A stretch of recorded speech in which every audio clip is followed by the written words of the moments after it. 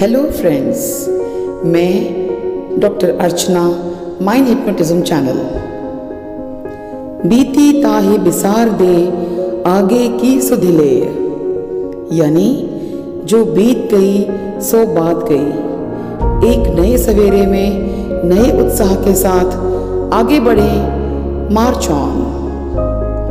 दोस्तों, अब तक की जिंदगानी में हम सबने बहुत कुछ हासिल किया है। कुछ खोया, कुछ पाया है।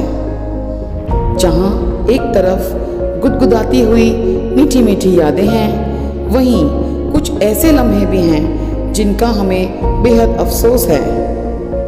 जिनको फिर से जीने का मौका मिल जाए तो हम बहुत कुछ अलग तरीके से करके सब चीज़ें ठीक कर लेंगे। या शॉर्ट में कहूँ तो हम इन्हें डिलीट या अंडू करके बेहतर तरीके से रीडू करना पसंद करेंगे। काश ऐसा मुमकिन होता। लेकिन हम भी जानते हैं कि ऐसा है नहीं। हमारे हाथ में न तो बीता हुआ कल है, न ही आने वाला कल। अगर कुछ है तो सिर्फ़ और सिर्फ़ आज का ये पल। इसीलिए तो इसे कहते हैं प्रेजेंट जिसका मतलब होता है तोहफा या उपहार। तो मित्रों, आज में ही रहें, उसी पर कंसंट्रेट करें। ऐसे बहुत से कार्य हैं जो हमने वर्षों पहले काफ़ी कॉन्फिडेंस से किए थे, पर आज वो काफ़ी फनी लगते हैं और हमें हैरान भी कर देते हैं कि आखिर हमने ये कैसे और क्यों किया होगा।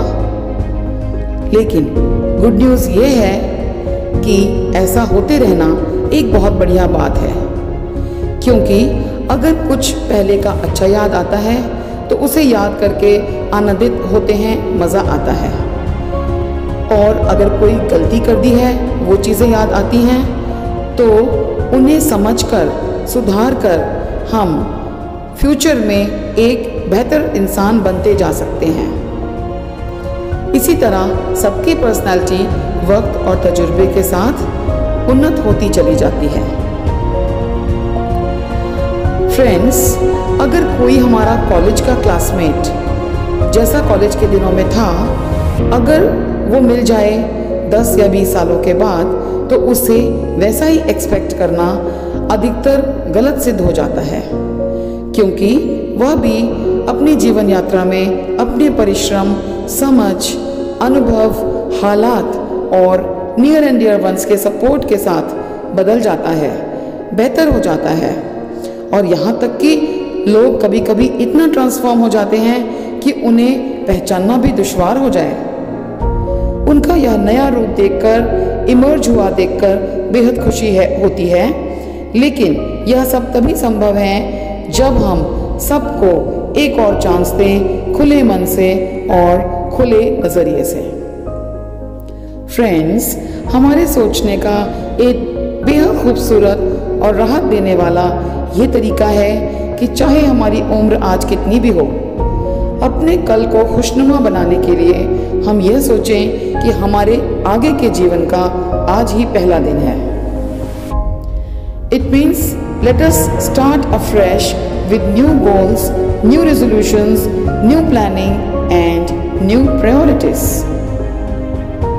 आइए साथियों, अपनी उम्मीदों को हम ज़िंदा रखें, दूसरों से अपेक्षाएँ कम करें, सभी को, खुद को भी हर चीज़ के लिए क्षमा करें, मुस्कुराएँ, प्रकृति के साथ समय बिताएँ, नए दोस्त, नई हॉबीज़ बनाएँ, जो जैसा है उसमें पॉजिटिव ढूंढकर उसे दिल से एक्सेप्ट कर लें। किसी भी सिचुएशन को अपने ऊपर हावी ना होने दें बल्कि अपनी कोशिशें जारी रखें वॉक पर जाएँ, मूवीज़ देखें और कभी ना भूलें। जिस दयालु ऊपर वाले ने आज तक हमारे सिर पर अपना प्यार और आशीर्वाद का हाथ रखा है वह आगे भी हमारी जीवन नैया को मझदार में आखिर क्यों छोड़ देगा?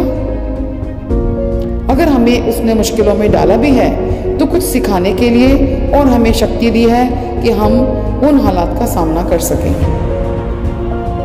तो साथियों बीती ताही बिसार दे आगे की सुधिले अभी आपके लिए इतना ही आपके जोश को नेक्स्ट लेवल पर ले जाने के लिए एक नए टॉपिक के साथ मिलूँगी बहुत जल्द till then take it easy just rise and shine like the rising sun. Stay happy, stay safe. See you. Bye bye.